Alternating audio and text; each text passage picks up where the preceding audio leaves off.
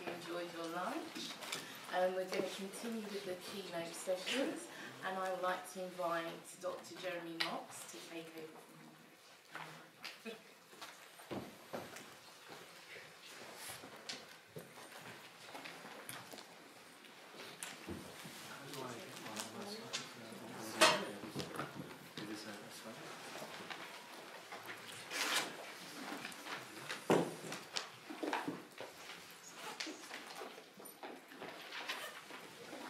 Well, thank you everyone, and particularly thanks to uh, the London Institute and the Centre for um, Global Learning here at Coventry for inviting me. It's always a great pleasure to speak about my work, and I really genuinely hope that it is of some use to the, uh, some small use um, to the conference um, today. So we'll, we'll see how we go.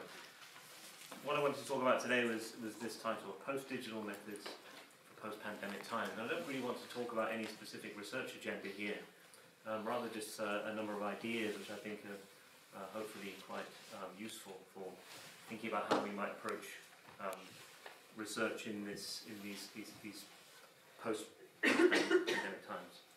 I should say I'm a, a co-director of the Centre for Research in Digital Education, which is based at the University of Edinburgh.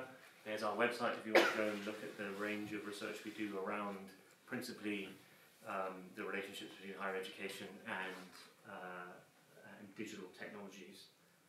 Do my timer. And uh, one of the things um, I'm also co-directing at the moment is uh, a fully online master's in digital education. And uh, that's not just a plug. Uh, that is quite important because um, what we've tried to do for many years is link that master's with our research centre to do kind of uh, research-led teaching around what it means to conduct um, education online and what it means to conduct education with technology. Um, and I'm going to try to make some relations there with talking about uh, uh, the other things that universities do uh, in, in, terms of uh, research. And what, um, and I'll, I'll, come back to a, bit more of that link in, in, a moment, but what I wanted to begin the talk with uh, was suggesting that there is a bit of an emergence of a, of a discourse, if you like, around how we might respond as universities to the COVID-19 pandemic. Suggestions about overcoming the pandemic as a problem. Um, uh, the online pivot in higher education, and this is hopefully a phrase that lots of you are familiar with, a phrase which I want to suggest uh, infers a sort of simplistic, straightforward shift into an online mode without any problems. Um, effective institutional online pivots, pivoting academic skills, um, effective practices for online teaching, a phygital, presumably there uh, inferring some sort of relationship between the physical and the digital, and COVID-19 online pivots adapting uh, university teaching to social distancing. So a lot of that discourse is specifically related to teaching and learning, but the thing I want to suggest is um, that this is potentially also uh, becoming a, a, a, prominent way of talking about doing research in these supposed post-pandemic time, times. And finally, um, an explicit suggestion here for hacking the great online pivot, hacking referring to uh, directly to producing technology to sort of make this online pivot happen. So I don't want to sort of single out any of these articles, that's why I have, I've removed the names uh, from, from uh, these, these uh, titles. I'm not singling out any of these as in line for any particular sort of critique around the, the use of uh, particular terms. Rather, it is to suggest a caution in the general sense that we might start to talk about how we are going to use technologies to engage in this supposed new post-pandemic world of uh, uh, um, engaging in research. And I wanted to begin that just by going through a, a, bit of a sort of philosophy of technology 101. And some of you might be familiar with this sort of term, but I do think it's important to sort of come back and, and familiarise ourselves with these if, if you already are. And, and, and, the reason for that is I think there are often positions that are, and assumptions that are taken about the role of technology. Uh, um, uh, uh, and in particular, I think we can see this in response uh, to the pandemic and the idea of the online pivot. So, instrumentalism, this is the idea, as Hamilton and Friesen suggest here, technology is positioned as merely a set of passive tools used to achieve the predefined aims of users. So what they're talking about here is an idea of technology neutrality. The technology doesn't have any agency or role in, uh, in shaping uh, what is done uh, uh, as an outcome uh, when it's used. Another sort of um, Uh, uh, key term here is solutionism or technological solutionism, as Evgeny Morozov has uh, written about uh, quite prominently, specifically in relation to Silicon Valley type technologies. And what he's sort of critiquing here is the idea that technology is, is framed entirely as a, in terms of its ability to provide solutions, and specifically solutions to problems. And he, he specifically talks about this sort of framing in the development of technology, the definition of a problem, and engineering of a, of a solution. And he, and he calls this out as a quite a problematic framing of how technology is developed, particularly uh, prominent in uh, computer science and engineering kind of disciplines. and I think what he's very clever at doing is pointing out that when we want to critique this kind of way of developing digital technology, it's often the definition of the problem is the thing that we need to look at. Uh, technology solutions are often very elegant and clever, but they're often positioned against an ill-defined uh, and, a narrowly defined problem of what uh, uh the particular uh, social situation might be. And another key um, and I think problematic way of um, talking about technology that we are seeing in some of the discourse emerging around the pandemic is a sort of maintenance of the, the holding separate of society and technology, of humans and technology. As Bayne says here, bracketing off technology uh, from social activity, which is expressive of a more fundamental division of society from technology. And Hamilton and Friesen again here talk about that in the sense of uh, a desire to preserve technology as an independent realm, as they say here, of pure technical and scientific law, unsullied by the differences, values, or interests that typify the social world. So there's a holding apart of, um, of society and technology that I think is another sort of problematic way that we might think about um, technology in this post-pandemic, these post-pandemic times. However, some of the discourse around um, the, the, the shifts that universities are undertaking at the moment does address that gap a little bit. And this is where this term hybrid, I think, is potentially quite useful. This is an article from the Times Higher Education, here talking about um, higher education going hybrid. That seems to suggest, I think, uh, something of a productive direction towards acknowledging the campus and the online, the physical and the digital.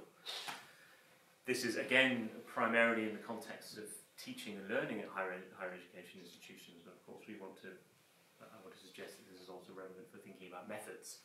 But I think the term, as uh, Rikke Nørgaard suggests here, the term hybrid also needs a bit of critique. She suggests here hybridity, hybrid learning environments and hybrid learning carry with them particular conceptualizations, characteristics and frameworks which need uh, we need to bear in mind when thinking about lifelong learning in a post-pandemic world. And she goes on, I think, even more usefully to critique the idea that hybrid institutions are being proposed as a sort of technical solution for the problems of the pandemic and suggests, I think more productively, an understanding, the second part of the quote here, an understanding of hybridity as a certain kind of institutional or academic being connected to deep structures of theory, method and practice within the field of uh, hybrid higher education. So that's, I think, something to emphasize here is what I'm wanting to suggest is when thinking about the use of technology in this supposed post-pandemic world that we're in, we need to think uh, much less about technical solutions and much more about, uh, as Nørgaard says here, this, this uh, idea of a sort of deep engagement with theory, uh, method and practice in terms of hybridity, in terms of thinking about technology, society, um, um, uh, entangled and in, in, some kind of hybrid configuration.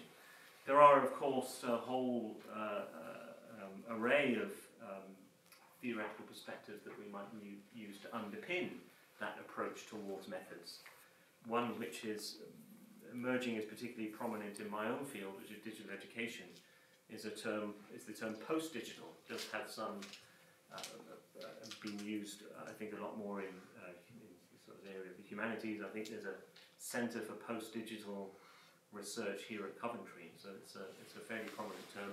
And what Jandrić and I'll uh, suggest, I'll suggest here, we are increasingly no longer in a world where digital technology and media is separate, virtual, other to a natural human social life.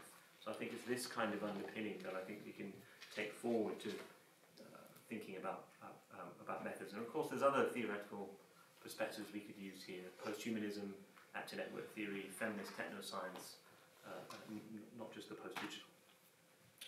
And I think there is a sense that, um, um, and I know I keep using the phrase, this supposed post-pandemic era that we're in, there is some suggestion that, uh, that we are um, uh, entering into a, an era where digital technologies are becoming more, more prominent in our lives and, and, often problematically so. This is from the Pew Research Centre, who engage in um, uh, sort of large-scale research around technology and we can see here from uh, these are suggestions from uh, uh, groups of experts about, about these issues. Um, three rather worrying suggestions for, for the sort of new normal. I should say there, there was another one that was quite positive about technology, but overall the findings from this uh, report uh, were rather gloomy. Worsening economic inequality, specifically related to the difference between the sort of tech savvy and those without digital access. Um, enhanced power of big technology firms and um, sort of multiplication in the spread of misinformation. These are issues that I think um, are going to be very prominent in, uh, in, in, uh, the, the, the, very near future, and for me suggest this situation of deep entanglements between society and technology that we need research methods to, in some sense, un untangle. And what I want to do in this talk, and which I'll, what I'll do in the, the remainder of it, is suggest um, that it would be productive to look backwards rather than forwards in terms of thinking how we might approach research methods in this uh, post-digital era. I, I don't want to suggest that um, this, this sort of outlook requires us to rethink the idea of doing, doing research, or the, the idea that we're now suddenly online or all now suddenly in sort, some sort of hybrid living as necessitating new kinds of research methods. What I think it's productive for us to do is look back and look back specifically at work which emerged around um, an era where um, uh, uh, computer-mediated communication was starting to uh, support social networks and community online. This is one of the one of the well-known ones uh, from Howard Rheingold which um, is sort of famous as one of the uh, one of the, the key works which made the case that one could be social and one could communicate with technology. And that might sound like um, not very uh, startling outcome these days, but back in the, the late 80s and early 90s, I think it's fair to say that most people view technology in a sort of pure, hard, cold, rational uh, kind, of, kind of spaces, devoid of anything that we would um, assumed to be social or cultural. And there was a significant body of work which started to emerge around the 1990s. These are just two um, uh, um, papers that are often quoted as early examples of work which argued for online spaces and online communication being sites of authentic community and authentic um, interaction and communication. And this was, um, at the time, an unusual an unusual sort of claim. Um, Nancy Baym, uh, again, is another, I think, key figure in this area and who uh, went on to um, be one of the founders of the Association of Internet Researchers, which is now a big sort of uh, uh community of scholars who are, again, still uh, working on, on, on, on, this, this, kind of, this, this kind of area. So what I want to emphasize in, in looking at that work is this um, claim that it, has already been there and has already been there for some time in, in, and has been argued very well in this work. This is from Tom Boellstorff, who's clearly writing a little bit later, but was one of the, the figures uh, um, in doing um, uh, this kind of research at the time, who suggests one of the most important theoretical and political issues haunting contemporary theories of technology is the opposition of the digital to the real.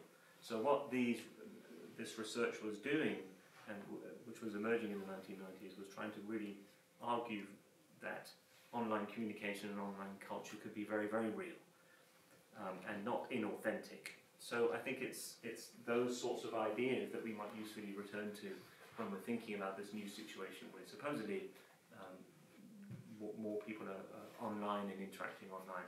So let me give you an example of some what I think is really interesting work from that time. This is um, uh, some work from uh, T.L. Taylor, who's now a professor at MIT, and at this time was researching early examples of um, virtual worlds. So if anybody's familiar with virtual worlds nowadays, this probably looks like a very crude example. This is a two-dimensional graphical representation of an early um, uh, social space online where users could log in, create an avatar, customize that avatar, and then place the avatars in a, in a, in a, uh, a shared space for social communication. This was rather, I think, unusual and niche at the time, but uh, hopefully we can see that this sort of uh, socializing online will become uh, a lot more prominent since. And I think when you look back at some of this work, particularly of T.L. Taylor, you start to see what I think are very articulate and very important um, uh, uh, suggestions about how these sorts of spaces um, allowed people to uh, express uh, very sophisticated ideas of presence, online and offline presence, affiliation with others, socialization, and these are uh, themes from the, the.